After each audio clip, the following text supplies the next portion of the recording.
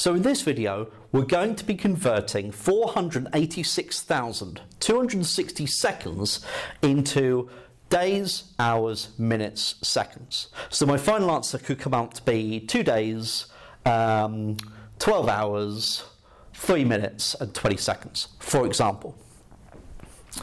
Um, now, the first thing is you should be able to do this uh, using a calculator and writing down your stages at each point. Um, I'm going to be doing this by hand. So this is going to be using um, short division and a mix of fraction skills. Um, really good practice to kind of really see everything in process and what you can use. So let's have a go. So the first thing is we want to get it into how many minutes and seconds. Okay, can we convert it into minutes and seconds first? Now we know that there are 60 seconds in a minute. So really I want to divide this by 60. So 486,260 divided by 60. Now I don't particularly want to divide by 60 because it's not a very nice number to divide by, uh, divide with I should say. Um, so think of this as a fraction first. Is this a fraction that we could simplify? To make the denominator as easy to work with as possible, so first of all, you'll notice both of them end, numerator and denominator, both end in a zero. So we can divide through by 10, top and bottom. Now this doesn't change the size of the fraction, but it does make the division easier for us. So instead, I could do 48,626 divided by 6. And that will get me exactly the same answer. Can I make it even more, any easier for me?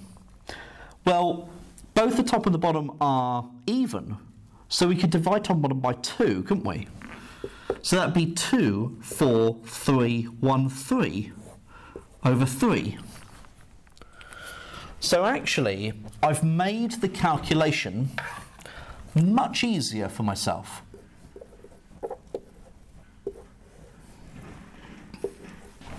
So I can do 24,313 divided by 3. Okay, so let's do that. So, 3's into 2 go 0, remainder 2. 3's into 24 go 8. 3 8's 24. 3's into 3 go once. 3's into 1 go 0, remainder 1. 3's into 13 will go 4. 3 4's are 12. And we've got a remainder of 1. So we've got to bring in a 0 and a decimal point. 3's into 10 go 3, remainder 1. 3's into 10 go 3, remainder 1, and so on and so forth. So what we're getting is 8,104.3 recurring. That's out, sorry, that's minutes. So we know that it's 8,104 minutes.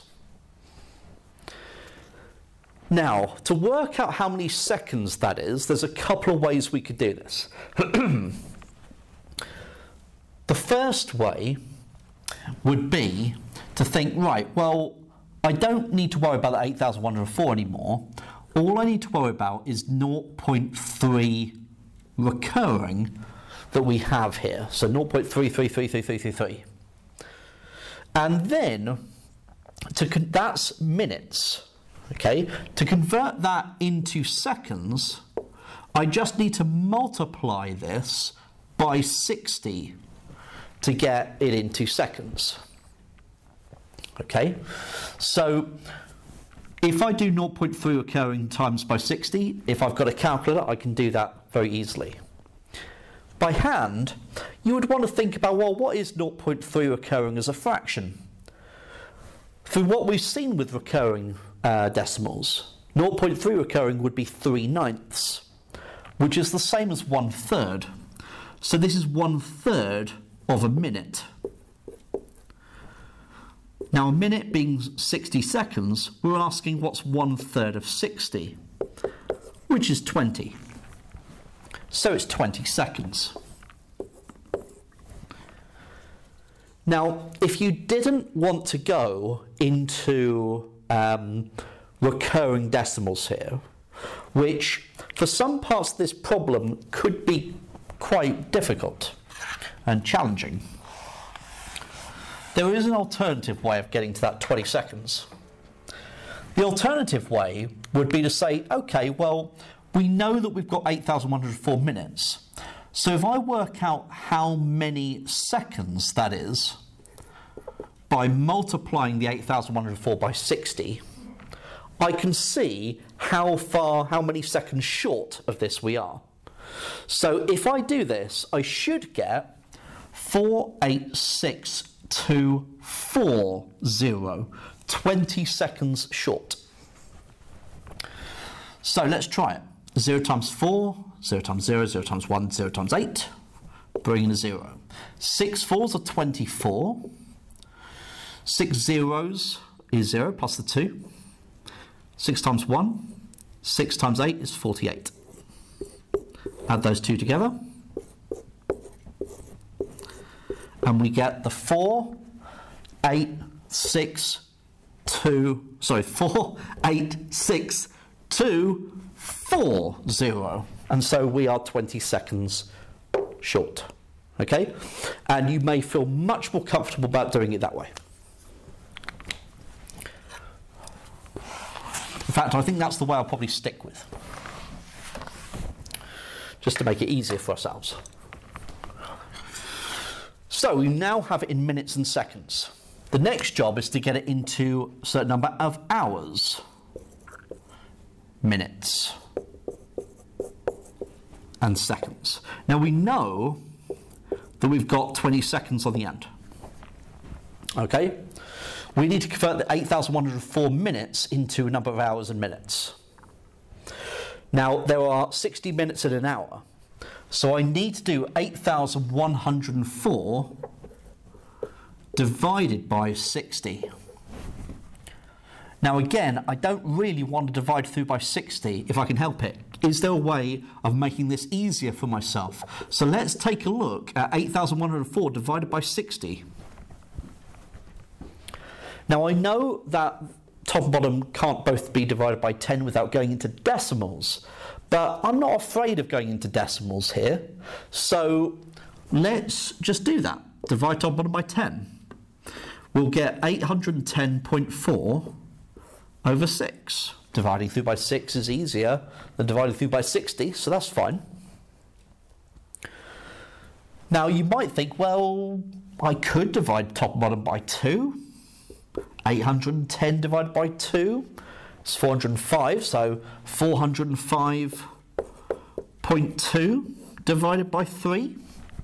Same sized fraction, but it is making the calculation easier for myself. So let's do that. 405.2 divided by 3. 3's into 4, go 1, remainder 1. 3's into 10, go 3, remainder 1. 3's into 15, go 5, remainder 0. 3's into 2 will go 0, remainder 2.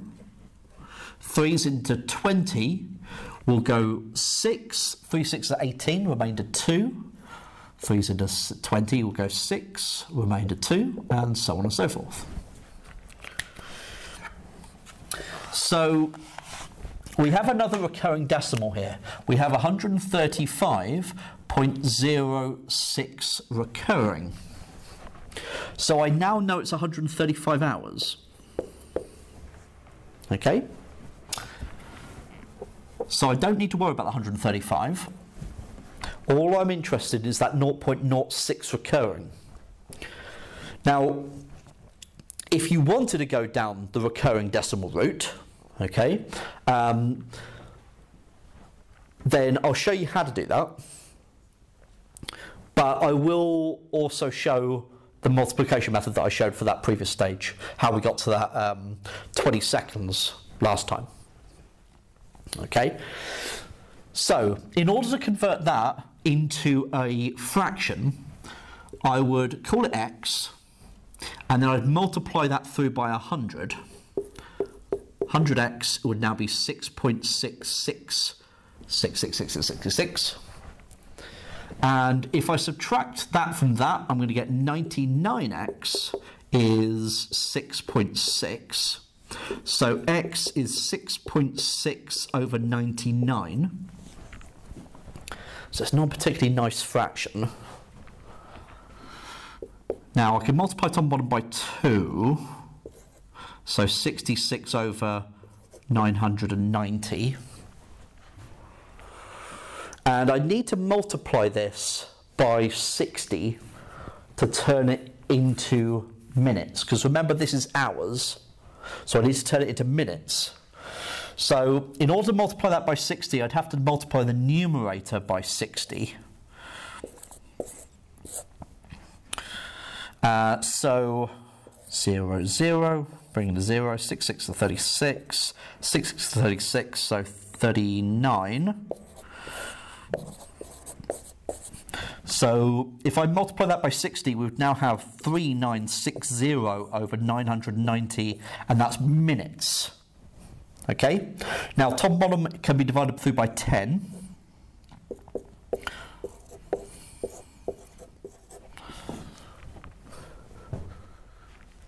Now, that's 4, isn't it?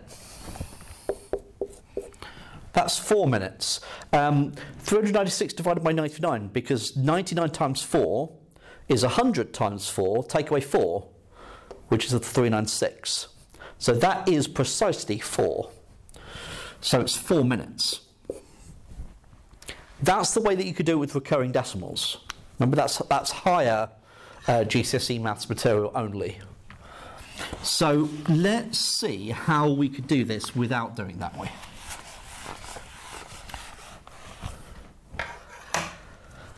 So maybe the easier way would be to go, well, um, we've worked out there's 135 hours. So to convert that back into minutes, I would need to multiply 135 by 60. Now, this should end up with 8,100. The answer should be 8,100 because it should be four minutes short of that if we've done this right. So 0 times 5, 0 times 3, 0 times 1, bringing a 0. 6 5s are 30. 3 6 is 18, plus the 3 is 21. 1 6 plus the 2. And there's the 8,100.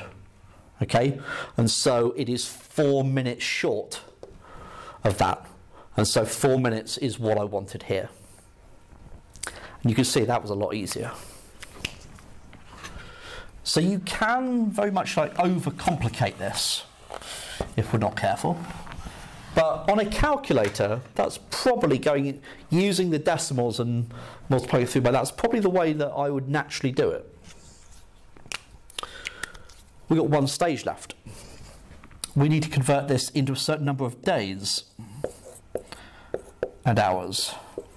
But we know that it's four minutes and 20 seconds. now we know that there are 24 hours in a day. So I need to do 135 divided by 24. I don't particularly like dividing by 24.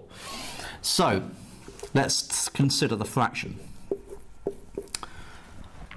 Now the tricky thing here is we can't divide top and bottom by 10. That won't make it any easier.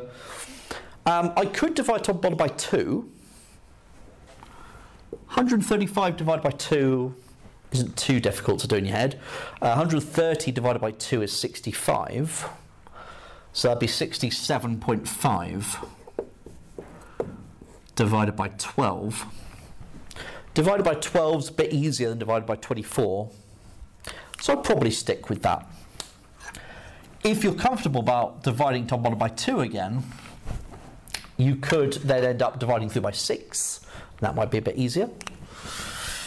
So 67.5 divided by 12. Let's go with that. Now, 12s into 6 goes 0, remainder 6. 12s into 67 go 5. 5 12s are 60, so we've got 7 remainder. Now, 12s into 75 will go 6. 6 12s are 72, so we have 3 remainder. 12s into 30 will go 2. 2 12s are 24, so with 6 remainder. 12s into 60 go 5. So there's no recurring decimal anymore. Uh, we've got terminating 1. We've got 5.625. So I now know it's 5 days. And a certain number of hours. so let's just look at the 0.625. So that's hours. Uh, sorry, that's sorry, that's days. 0.625 days, which I now need to convert into hours, which I can do by multiplying through by 24. I don't need to turn the 0.625 into a fraction um, to multiply it. I can just use long multiplication here. So 4 fives will be 20, 2 fours 8 plus the 2 is 10, 6 fours are 24 plus the 1 is 25. Bring the 0, 2 fives are 10, 2 twos are 4 plus the 1 is 5, 2 sixes are 12. Add those two together.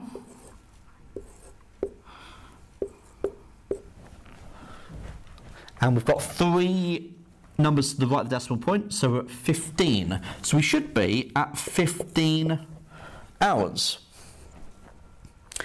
Now again, I haven't done that in the way of seeing how much difference we are. So let's do it that way as well. So you may go, well, um, our answer should be 120 then, 120 hours, because we're going to be 15 hours short, right?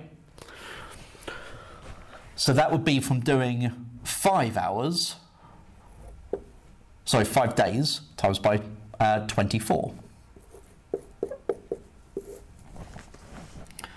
So we've got 4 times 5 is 20, bringing a 0, 2 5s are 10. And we get 120. And you can see we are 15 hours short of that. And so, this is our final answer. 486,260 seconds is 5 days, 15 hours, 4 minutes, and 20 seconds.